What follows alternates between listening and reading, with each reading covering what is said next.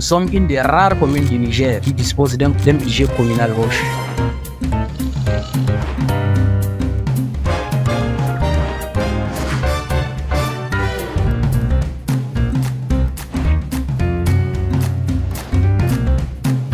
c'est nous qui assurons la gestion des ponts d'eau. C'est à nous de faire des réparations, c'est à nous d'aller donc euh, placer nos fontaines qui vont vendre de l'eau, c'est à nous aussi d'aller connecter l'argent à la fin du mois.